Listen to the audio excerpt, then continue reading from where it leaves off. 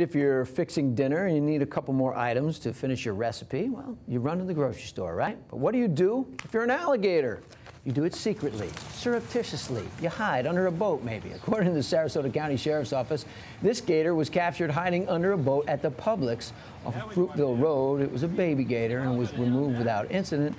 But the Sheriff's Office reminds drivers to look beneath their trailers before backing up. This is one of several only in Florida stories that we have for you this morning. Yes, indeed. Uh, there was another one in a like a Publix, oh, yeah, Publix. parking lot. Maybe about a month ago, I think we did. Almost the same thing. Somebody had to trap it, and was it I. I don't know where it was exactly. I remember there was one in my condo parking lot found under a car a couple, last year or two years ago. So, that, yes, they are everywhere. And again, because there was such a drought, Mm-hmm. and less water. Now, hopefully, they'll go back to the water because there's plenty of it around now. Let's hope so.